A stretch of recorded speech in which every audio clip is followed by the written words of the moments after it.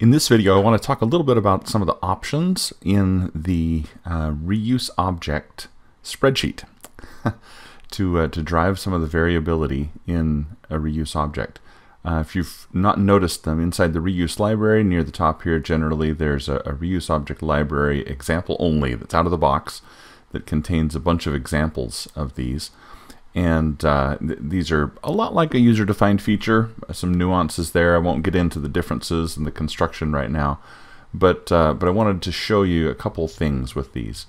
Um, I'm going to grab use this crossboss here as, as an example. This, if we drag it out into our model, we get this material added to the to the part here.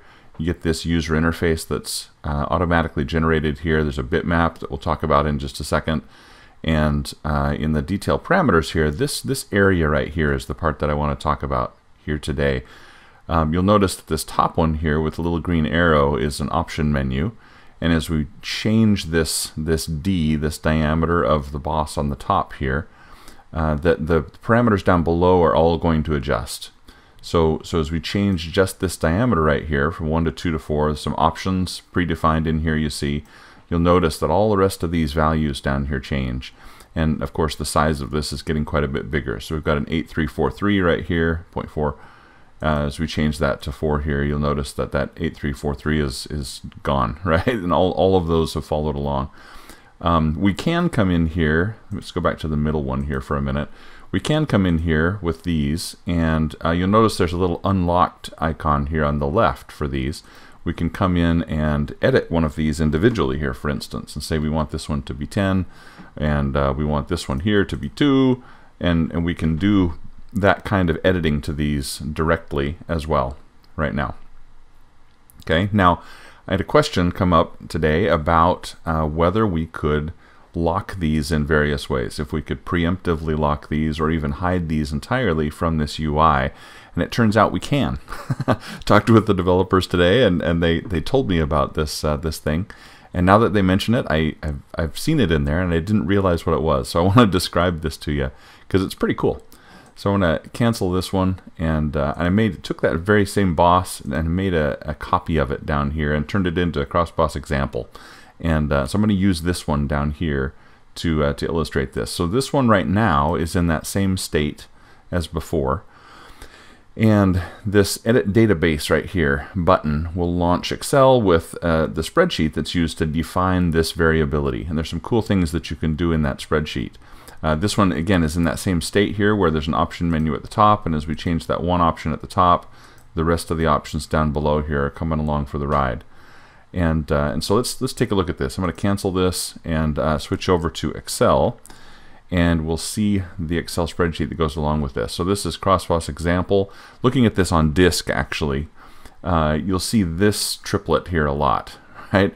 Where we'll have a part file, there's a bitmap that goes along with that, and then the spreadsheet that kind of is the, the glue that holds the whole thing together. Um, in the spreadsheet here, of course, it's referring to the bitmap, right? So this is where we'll specify that bitmap, and that, of course, uh, in NX is is the bitmap that's going to show up there in the legend at the top, right? Uh, which it didn't here, so I've done something wrong, but I'll figure that out. Um, at any rate, the uh, uh I'm really I'm really curious why that's not why that's not coming up. Oh, I've got an extra when I when I renamed my my bitmap, I put an extra underscore in there. There we go. So if I name that correctly, I'll bet that'll come up now. uh, actually, let me. I don't know if I need to refresh that. That, that I, I, didn't change anything in the spreadsheet there, but let's try that way. Yeah, there we go. That's good. That was a happy accident. Um, so so yeah, getting that that bitmap identified in the spreadsheet there will uh, will bring up that legend image right there. If it's present, you see it shows up. If it if it doesn't find it, then it just doesn't show it. Um, down here, this is the part that I wanted to uh, wanted to show, and and this is pretty interesting. So uh, the thing the developers talked about. Um, let, let's let's do this first.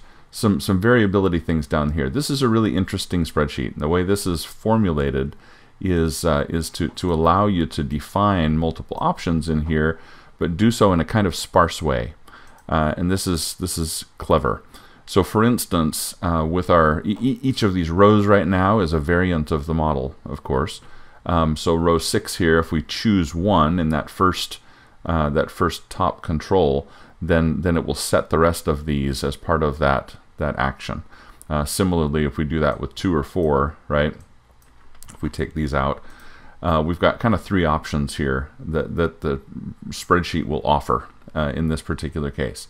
Now what we can do here is, uh, I don't want to change the height, sorry, I'm going to insert some rows there, is we can add some other options in here and we can do so sparsely like this.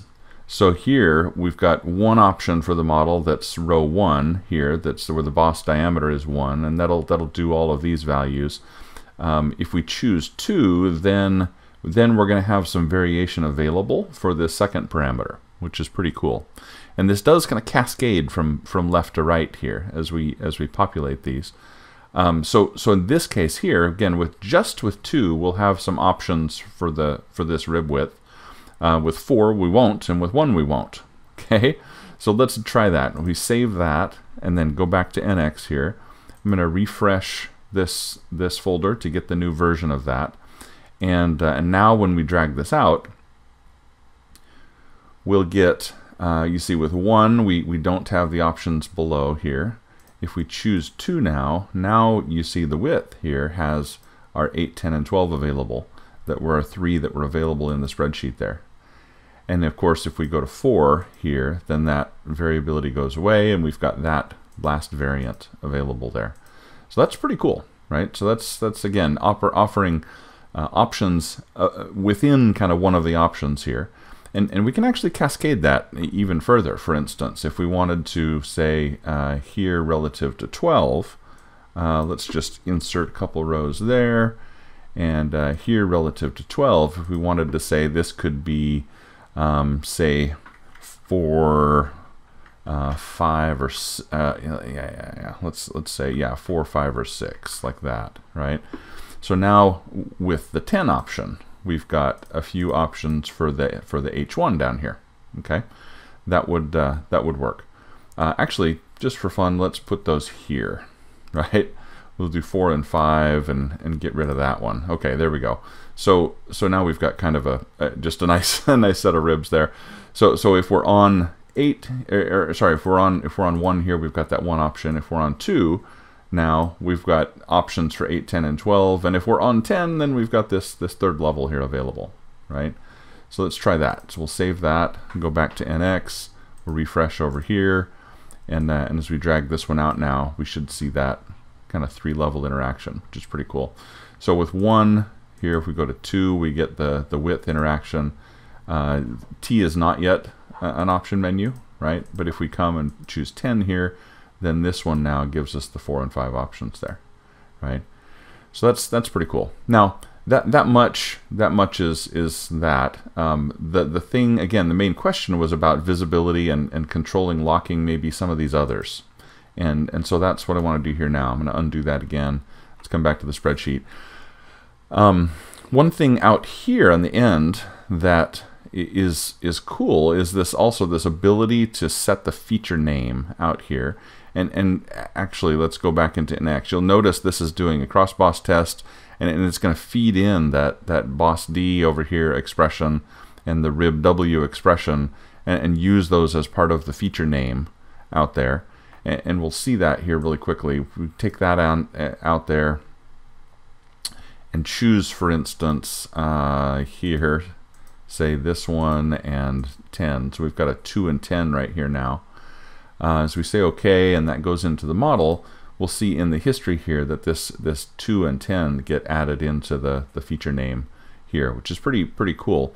Um, you'll also notice that that doesn't show up in the dialog here at all. As we go to instantiate this, um, that, that parameter is not showing up in this list at all, right? And and the thing I hadn't noticed before, but but now that I talked to the developer, I see what it's doing. That hashtag, the pound sign right there, is actually doing that. That's making that not show up, which is kind of interesting. So for instance, with this draft angle, if we want that draft angle to not show up in the dialog, it can still vary like this, right? But if we want it to not show up in the dialog, then we can add that pound sign at the beginning and and that bottom control, that draft angle there, will just not show up the next time we do this. Okay, so for instance, let's save that one. Come back over here to NX. Let's refresh here, and uh, and as we come out here and and do this, uh, we've got our list, but we don't have draft draft angle anymore down here.